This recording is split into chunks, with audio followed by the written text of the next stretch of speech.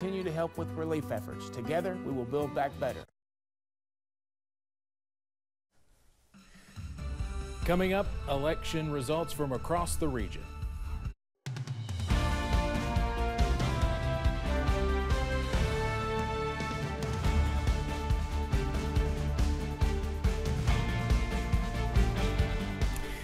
Good evening, everyone. From WYMT Election Headquarters, I'm Steve Hensley. It was a very good night for many Republicans across Kentucky.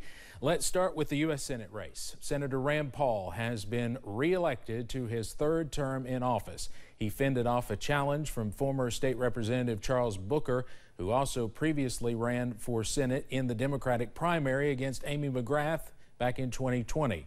Rand Paul was first elected in 2010. When I return to the Senate as chairman,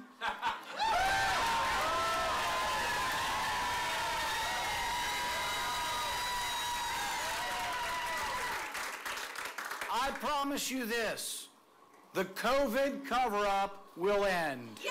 And I promise you this I will subpoena every last scrap of paper from our friend, Dr. Fauci. Our victory is that people have stood up across Kentucky that had given up. People that once thought that their voice didn't matter are now lifting their voices and organizing and running for office. We are the change, and that's the win. From the hood to the holler is about regular people standing. And we have taken that stand. Charles Booker speaking tonight from Louisville. Before that, Senator Rand Paul, who wins easily tonight, speaking from his hometown in Bowling Green.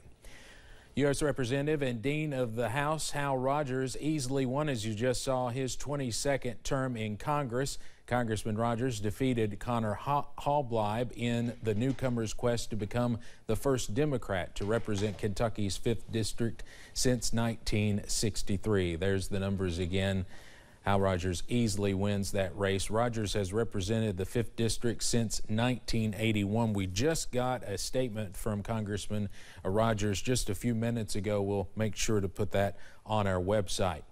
Incumbent Republican Andy Barr faced off against challenger Geoff Young for the 6th District U.S. House seat. Barr is seeking his sixth term in Congress. Challenger Geoff Young has caused some controversy with his statements this election cycle, including praising the leaders of Russia and China. Tonight, Congressman Barr is celebrating victory in Lexington. The reason why the Republican Party is now the majority party in Kentucky is that the Republican Party agenda and our values match the values of the people of Kentucky. Look, I think a two party system is a good thing. Barr says he is focused on reducing inflation and crime in his next term. Now to a race not only closely watched in eastern Kentucky, but really across the state. Republican Jacob Justice will be the new 94th District representative in the state House. He defeated Angie Hatton tonight. WYMT's Olivia Calfee is live in Pikeville, and she talked to both candidates. Olivia? Thanks, Steve. I'm here in downtown Pikeville where Jacob Justice has been celebrating with friends and family after winning the close race against current Representative Angie Hatton. Justice has now taken two of one of the two Democratic seats for the Eastern Kentucky in the House of Representatives. Justice says it has been a long 300 plus days preparing for tonight, but overall, he says he is honored and excited to be a voice for the people in the 94th District. The overall feeling would probably be honor to be the representative for the 94th District. It's my home, it's the people I care about, and it's just overwhelming right now. Hatton was the incumbent and served as the House Minority Whip. Hatton has been in office since 2017. Live in Pikeville, Olivia Calfee, now back to you. All right, Olivia, thank you very much. Uh, Angie Hatton said in an interview with WYMT tonight, quote, I wish Jacob Justice well because his success will be the success of Eastern Kentucky, and I will continue helping Eastern Kentucky every way I can. Uh, worth mentioning, Angie Hatton did win her home county of Letcher County, but lost uh, in Jacob Justice's home county of Pike and in Harlan County, which is uh, also part of that district. Well, there was one bright spot for Democrats tonight. Incumbent Ashley Tackett Laferty held on to the 95th district seat. She faced opposition from Republican Brandon Spencer. You might remember Spencer. He served as a state representative beginning in 2007 before resigning from the post. Tackett Lafferty will continue serving Floyd and part of Pike County for another two-year term.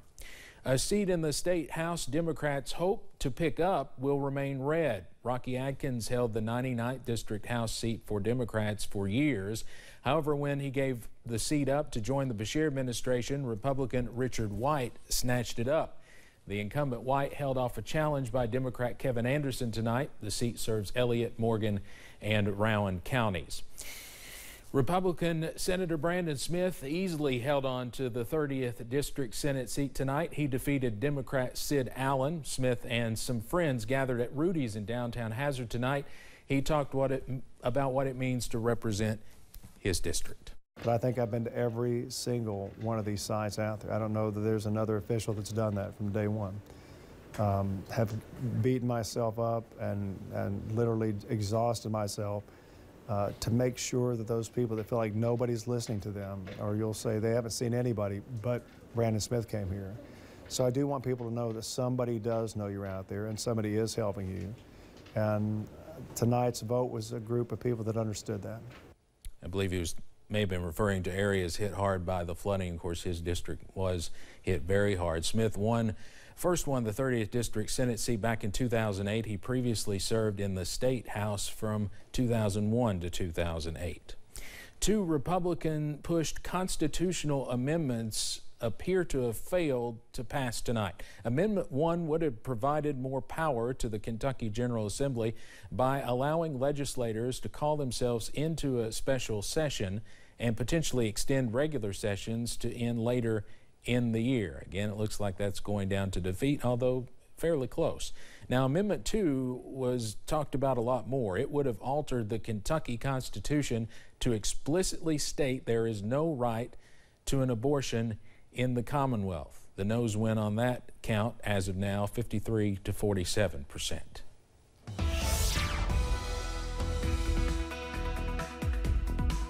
More election results from across the mountains in just a second, but first a check of the forecast real quick.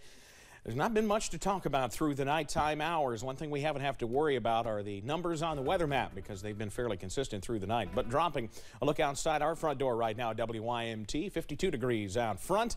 Parking lot empty, and it's getting chilly out there. There's a look from Buffalo Mountain at some of the transmitter towers up there. 52 the reading there as well, and all is quiet at the moment. Low to mid 40s in some spots, but many of us remain in low to mid 50s at this hour. We continue to drop after warm temperatures especially in the southern part of the region today. Got up near 70 degrees. Around the eastern third of the country, we're kind of stuck between two systems. A weather front off to our west and a tropical storm well off to our south and east across the Atlantic Ocean. We'll talk a little bit more about that and its effect on our weather in a little bit. But for tonight, down into the 40s, mostly clear and calm wind all throughout the region. Steve, I'll have details on when we could see a return to some late winter weather, at least the late winter feel, coming up in a few minutes. Steve? All right, Evan, thank you. I want to mention briefly here, I know a lot of you have been looking for Breathitt County election results. That's one of the late counties we got in. We just got the results moments ago, and we're putting those in. A couple of races I'll mention. Uh, Jeff Noble, the incumbent, has won uh, judge executive over former judge executive Harvey Jason Richardson, in a fairly close race, 1880 to 1726. And Laura Thomas, the incumbent mayor, has defeated Rose Wolf, a former mayor, uh, for mayor of Jackson. Another fairly close race, 297 to 255. Again, we're putting those results in now, one of the last ones to come in tonight. You can find all the results. It's just impossible for us to mention all of the local results here on the air tonight, but you can find all of them on WYMT.com and the WYMT uh, news app. We have them divided by counties. We also have a special section for all the district and circuit judge races tonight. We still are waiting, I believe, on a few of those, but uh, we have all those on our website, you, so you can go there and check those out. The showdown for the mayor of London has come to a close. WYMT's Keaton Hall is there with the latest. One of the more hotly contested races in all of eastern Kentucky has finally been settled. With more than 56% of the vote, Randall Weddle has been elected to be the next mayor of London, beating out rival Judd Weaver. Weddle says he's excited for what the future holds for the city. Just a mission of hope, and tonight, the, all the circles that we've put together, the community now has that. The, the sea, the people here, the, all the people that's called, text, it's all coming together, so we're excited for the future of London. Weddle says his initial goal as mayor is to help improve the lives of children and the elderly. In London, Keaton Hall, WYMT Mountain News. And Weddle is set to serve as mayor of London for four years. The Prestonsburg mayoral race also went to the incumbent this evening. Les Stapleton secured his third term as mayor of the city of Prestonsburg and says things are just getting started. During his second term, he says COVID slowed the process for many projects in the city, but he's eager to get back to work and push his town and the entire region forward. Unfortunately, it takes so long to do some of this stuff, and, and then COVID just, you know, that's like dragging an anchor. But now we're moving, we're growing. The city of Prestonsburg, the county of Floyd, and this region as a whole is going to grow quickly. Stapleton added that he is thankful to live and serve his town and wanted to thank the community for their trust. We can also tell you uh, Paintsville Mayor Bill Mike Runyon also won re-election tonight. Now, a different story down in Middlesboro where voters ousted Mayor Rick Nelson. He was defeated by City Councilman Boone Bowling. Nelson is a former educator that served as state representative for several years before giving up that seat in 2018. Bowling is a young face but well known in Middlesboro. He graduated from Middlesboro High School, has been involved with athletics there, and is currently an insurance representative and financial services rep for Transamerica. History was made tonight in the Whitesburg mayor's race. Tiffany Craft became the first woman to be elected outright mayor of Whitesburg. Now, Craft, you might remember, was appointed mayor after her late husband and previous mayor James Wiley Craft died. Craft says following his footsteps is a dream come true. I'm in his footsteps and it's just it's it's so wonderful. It's so wonderful, and I am it's it's an it's a fabulous honor. An emotional Tiffany Craft tonight, and it's what she's been dealing with lately with the flood too. Uh, well, in the Floyd County Judge Executive's race, incumbent Robbie Williams has secured his second term. Williams adds that his first term as Judge Executive was more of a discovery process, and he has started many projects, even through challenges such as the pandemic, natural disasters, and the Allen shooting. Williams says he and his office have found a way to be successful and wants to push the county even further into the future. I, I, I really hope that this term is you know, smooth sailing, that we can get in there and, and take, you know, take this thing to the next level and really, really uh, put our county on the map. Williams adds that he would like to thank those who trust his leadership as well as his friends and family who've been with him every step of the way. A rubber match in the race for Somerset mayor. This one pitted incumbent Alan Keck against former Somerset mayor Eddie Girdler. Keck and Girdler split the previous two election cycles Girdler winning the first bout in 2014 and Keck winning the rematch and title of mayor in 2018. And Keck wins again tonight. One of Knott County's most anticipated races has come to an end. Jeff Dobson will continue his role as county judge executive. WYMT's Alyssa Williams has more. Vote totals were rolling in later than anticipated for Knott County, but ultimately the current Knott County Judge Executive, Jeff Dobson, will carry out another term. Well, uh, it's, a big weight off my shoulders. Uh, you know, I think we've made a lot of progress over these past four years, and I was looking forward to continuing that progress. And uh, you know, we've got a lot of future plans, and we want to continue the county to move forward. Jeff Dobson beat Hindman Mayor Tracy Neice, who will hand over the role of mayor to Trish Hall at the end of his term. You know, we felt really good about it, but you're still unsure. So uh, once those totals started coming out, and you know, we was picking up uh, victories from each uh, uh, polling place, uh, it just it felt great. You know, they just kept coming in and we kept winning and still ahead and kept gaining ground. And uh, it's, it's just an awesome feeling. Dobson says he feels grateful for the opportunity to represent Knott County and has big plans for the future. The big thing we're dealing with right now is the flood disaster that we've been dealing with, and uh, you know that's our priority. You know we want to work to uh, continue to get people back on their feet, get people in housing, continue to get people help that uh, they so much need. Hoping to continue serving Knott County to the best of his abilities. In Knott County, Alyssa Williams, WYMT Mountain News. We reached out to Hindman Mayor Tracy Neice for an interview, but he declined to comment. Incumbent Republican Letcher County Judge Executive Terry Adams defeated Democratic challenger and former Supreme Court Justice Sam Wright in one of the tighter races in that county. At one point, Adams was leading by just 12 votes before pulling away some in the end. Both Adams and Wright were thankful for their supporters. I, I actually didn't have a chance to campaign much at all, and I felt more of a need to, to help our folks here in Eastern Kentucky. The county has always been wonderful to me, and I do greatly appreciate it. I was running to try to do what I could to help the county, and I will continue to do anything I can, any way I can volunteer or help with any of this. This will be Terry Adams' second term as judge executive. A historic race in Martin County finally has a winner.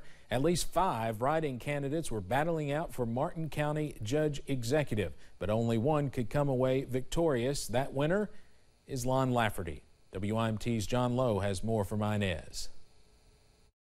History has been made here in Martin County. For the first time in the Commonwealth, a judge executive has been elected by write in vote, and the winner is no stranger to the job. Current interim judge executive Lon Lafferty won the race with nearly 60% of the vote, beating out Marlena Sloan and Jimmy Kerr, among others. This is his second stint as Martin County judge executive. He was also elected back in 1998 and served a four year term. His experience was one of the focal points of his campaign, and just after ascending to the job 11 days ago by governor's appointment, he says he hopes to bring some stability to the office. Well, I hope so. I'll, I'll make the the, I am the fifth judge in the last five years, and, if I had lost tonight, it would have been six judges in the last five years. So, absolutely, we have to have stability, and, and again, to work on those major problems of infrastructure, and so that we can create an environment to bring jobs to this area. Now, he also told me that he wanted to thank all of his opponents. They ran a very clean, issue oriented campaign on all sides, but the race is now over, and there is a tremendous amount of work ahead. It's time to get to work. In Martin County, John Lowe, WYMT Mountain News. All right, John, thanks. Lafferty succeeds Colby Kirk. Kirk announced his resignation from the position last month to take a new job as the president and CEO for One East Kentucky. Some history tonight in the city of Hyden in Leslie County. Voters decided the city will now be a wet town. 58 people voted yes to the measure, 50 voted no. This means alcohol sales will be legal in the city. Leslie County was one of only 10 dry counties left in the state. Coming up, the sheriff will not change in Floyd County. We'll hear from him. And incumbent Mickey Stines will also serve another term in Letcher County. More on several sheriff's races and more as election night continues. Lots to check in the forecast. It looks like it's getting chillier into next into the end of the week. The details on that in a few.